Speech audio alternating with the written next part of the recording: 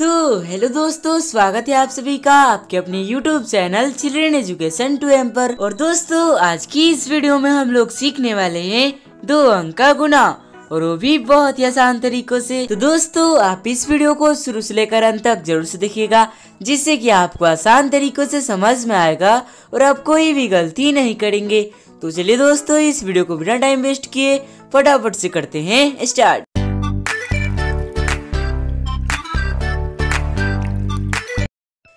तो दोस्तों, आज हम सीखेंगे दो अंक का गुना जिसको इंग्लिश में कहते हैं टू डिजिट मल्टीप्लाई और दोस्तों, ये है हमारा गुने का चिन्ह। तो दोस्तों, चलिए अपने पहले क्वेश्चन की तरफ़ चलते हैं। तो दोस्तों, यहाँ पर हमें तैतालीस को दो से गुना करना है। तो दोस्तों गुना करने से पहले मैं आप लोगों को बता दूँ कि गुना को कभी भी राइट साइड से करना चाहिए। तो दोस्तों राइट साइड से हमारा पहला अंक क्या है? तीन। और इसके नीचे क्या है? दो। तो हम क्या करेंगे? सबसे पहले तीन को दो से गुना करेंगे।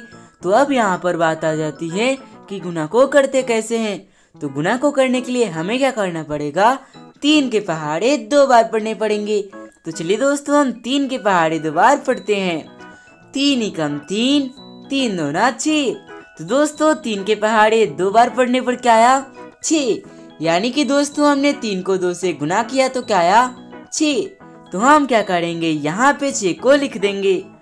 अब दोस्तों, तीन के बाद क्या है? चार। तो दोस्तों, हम उसी तरीके से चार को दो से गुना करेंगे। तो गुना करने के लिए हमें क्या करना पड़ेगा? चार के पहाड़े दो बार पढ़ने पड़ेंगे। तो चलिए दोस्तों, हम चार के पहाड़े दो बार पढ़ते हैं। चार एकम चार चार दो ना आठ। तो दोस्तों, चार के पहाड़े दो बार पढ़ने पर क्या आया? आठ। तो हम क्या करेंगे? यहाँ पे आठ को लिख देंगे। और दोस्तों, ये हो जाएगा हमारा बहुत ही आसान तरीकों से आंसर तो दोस्तों, है ना ये बहुत ज़्यादा आसान? चलिए दोस्तों, इसको भी बनाते हैं, जिसकी मदद से आपको और भी अच्छे से समझ में आए और आप कोई भी गलती ना करे। तो दोस्तों, यहाँ पर हमें बत्तीस को तीन से गुना करना है। तो दोस्तों राइट साइड से हमारा पहला अंक क्या है? दो। और इसके नीचे क्या है? तीन। तो हम क्या करेंगे? सबसे पहले दो को तीन से गुना करेंगे। तो गुना करने के लिए हमें क्या करना पड़ेगा? दो के पहाड़े तीन बार पढ़ने पड़ेंगे। तो चलिए दोस्तों, हम दो के पहाड़े तीन बार पढ़ते हैं। दो ही कम दो दो दो ना चार, दो तिया छ दोस्तों, दो के पहाड़े तीन बार पढ़ने पर क्या आया? छ यानी कि दोस्तों, हमने दो को तीन से गुना किया तो क्या आया? छ तो हम क्या करेंगे? यहाँ पे छ को लिख देंगे। अब दोस्तों, इसके बाद क्या है? तीन। तो दोस्तों, हम उसी तरीके से तीन को तीन से गुना करेंगे। तो गुना करने के लिए हमें क्या करना पड़ेगा? तीन के पहाड़े तीन बार पढ़ने पड़ेंगे। तो चलिए दोस्तों, हम तीन के पहाड़े तीन बार पढ़ते हैं। तीन ही कम तीन तीन दो ना छ, तीन तिया नौ। तो दोस्तों, तीन के पहाड़े तीन बार पढ़ने पर क्या आया? नौ। यानी कि दोस्तों, हमने तीन को तीन से गुना किया तो क्या आया? नौ। तो हम क्या करेंगे? यहाँ पे नौ को लिख देंगे। और दोस्तों, ये भी हो जाएगा हमारा बहुत ही आसान तरीकों से आंसर चलिए दोस्तों, हम उसी तरीके से इस वाले क्वेश्चन को भी बनाते हैं। तो दोस्तों, यहाँ पर हमें 21 को चार से गुना करना है। तो दोस्तों राइट साइड से हमारा पहला अंक क्या है? एक। और इसके नीचे क्या है? चार। तो हम क्या करेंगे? सबसे पहले एक को चार से गुना करेंगे। तो गुना करने के लिए हमें क्या करना पड़ेगा? एक के पहाड़े चार बार पढ़ने पड़ेंगे। तो चलिए दोस्तों, हम एक के पहाड़े चार बार पढ़ते हैं। एक ही कम एक एक दो ना दो, एक तिया तीन, एक चौके चार। तो दोस्तों, एक के पहाड़े चार बार पढ़ने पर क्या आया? चार। यानी कि दोस्तों, हमने एक को चार से गुना किया तो क्या आया? चार। तो हम क्या करेंगे? यहाँ पे चार को लिख देंगे। अब दोस्तों, इसके बाद क्या है? दो।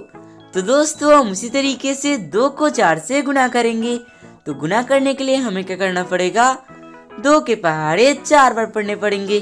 तो चलिए दोस्तों, हम दो के पहाड़े चार बार पढ़ते हैं। दो ही कम दो दो दो ना चार, दो तिया छ, दो चौके आठ। तो दोस्तों, दो के पहाड़े चार बार पढ़ने पर क्या आया? आठ। तो हम क्या करेंगे? यहाँ पे आठ को लिख देंगे। ये हो जाएगा हमारा बहुत ही आसान तरीकों से आंसर तो दोस्तों, है ना बहुत ज़्यादा आसान? तो दोस्तों, इस वाले क्वेश्चन को आप ध्यान से देखिएगा, क्योंकि इस वाले क्वेश्चन में बहुत सारे स्टूडेंट्स जो हैं, वो गलती कर देते हैं। यहाँ पर हमें चौंतीस को ज़ीरो से गुना करना है। तो कई बच्चे कहेंगे कि चौंतीस को ज़ीरो से गुना करने पर चौंतीस ही आएगा। लेकिन मैं ये कहता हूँ कि ये गलत है, क्योंकि अगर आप किसी भी संख्या को ज़ीरो से गुना करते हैं तो उसका आंसर भी ज़ीरो आता है।